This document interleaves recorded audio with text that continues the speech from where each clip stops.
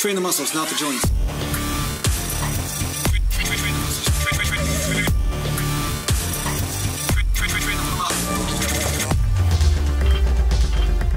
Welcome back to Natural Gallant Bodybuilding.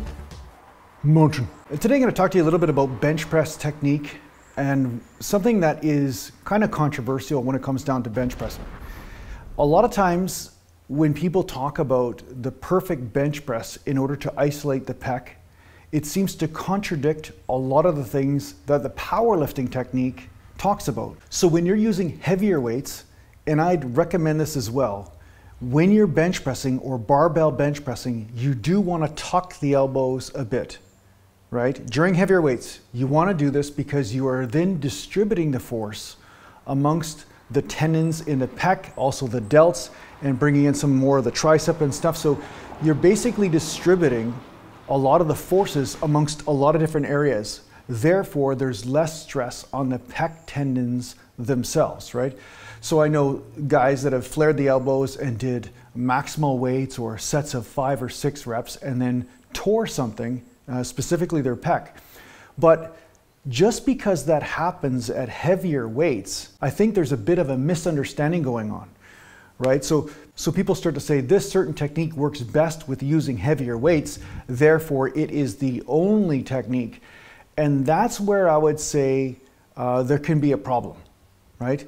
because there's something to be said about changing techniques in order to isolate muscles, but using safe amounts of tension in order to do so. So I've been using a standard bench press technique with the elbows tucked a bit for quite a long time, you know, bench pressing 275 or 295 and using specific ranges of motion, not touching my chest with the bar, even though I could, because I felt that this was the safest way for me to accomplish the task at hand and keep the tension on as many different muscles as I can without putting stress on the tendons.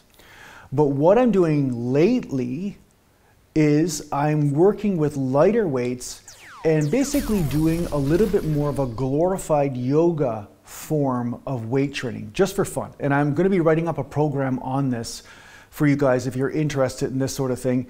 But it basically helps you put on muscle, but the focus is a little bit different. The focus is more on isolating the muscle and keeping tension on the muscle, and in some cases, changing the technique or range of motion in order to do so because you're using lighter poundages, but you're training at a much more high frequency. So it's a different strategy than uh, pounding the body into oblivion, which which works sometimes. You know, I'm not saying never to do that either, but I'm just saying you don't always work with maximal poundages. And when you work with lighter poundages, that gives you some creativity with how you are training. So this also applies to the bench press. So what I've been doing lately is what a lot of the old school bodybuilders recommended.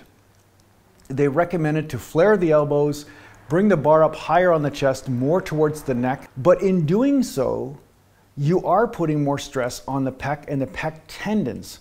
So in order to offset this, you have to use lighter weights. And one sort of blanket statement I can make here, and it's gonna be different for everybody, but use weights that you can at least do 40 to 50 reps with on the bench if you're using a tucked elbow sort of uh, scenario, right? So even though I'm doing bench presses with 295 or 275 or three plates sometimes, when I'm doing a flared elbow method, I'll use 185 or 195 in order to wrap out and to keep that tension on the pec. And I'm noticing a lot of good pumps in the pec and a different sort of stretch and some great constant tension on that area right now. But the real disclaimer on this is that you have to use really lightweight in comparison to your powerlifting type scenario uh, weight training technique.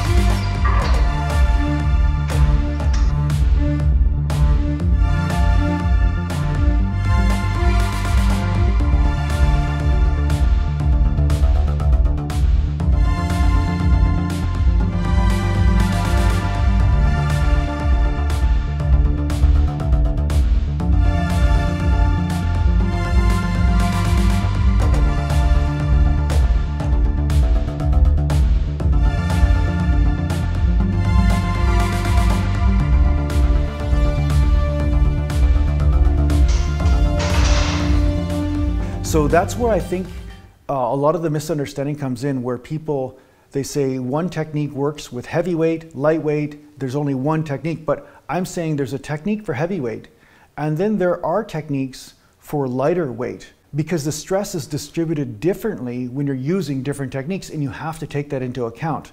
And sometimes certain techniques can be really harsh on certain areas of the body, but when you use lighter weights, then that offsets that, right? But if you use heavier weights, now that area that's already exploited becomes super exploited and sometimes exploded, right? So you don't want that to happen.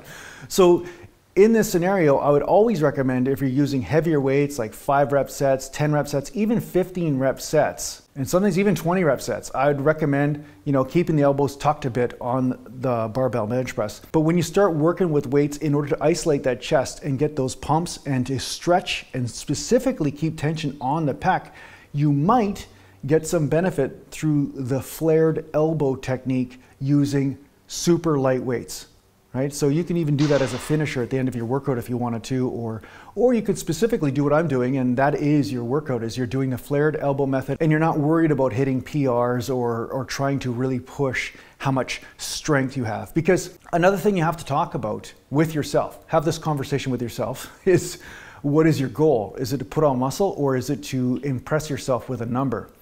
Because we all know that when you're trying to lift heavy for the sake of heavy itself, Sometimes your technique changes. So you're not necessarily getting stronger, but you're learning how to creatively cheat, such as changing the groove or uh, you know changing the technique in order to get that weight up. And that's not necessarily giving you greater results, right? So in the end, what you want is to get greater results in sculpting your physique and having a good time, and also uh, create a mind muscle connection with these different areas, but do it safely. So, yeah, that's what I have to say about flared elbow bench presses as opposed to the tucked elbow technique. Experiment, but just be careful and wary of where you're feeling the stress.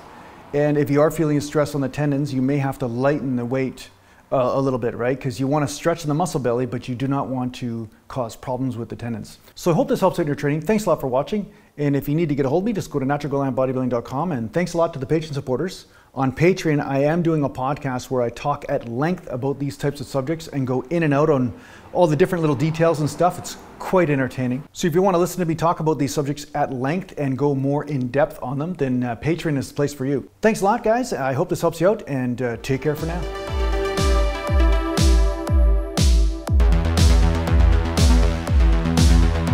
Natural Gallant.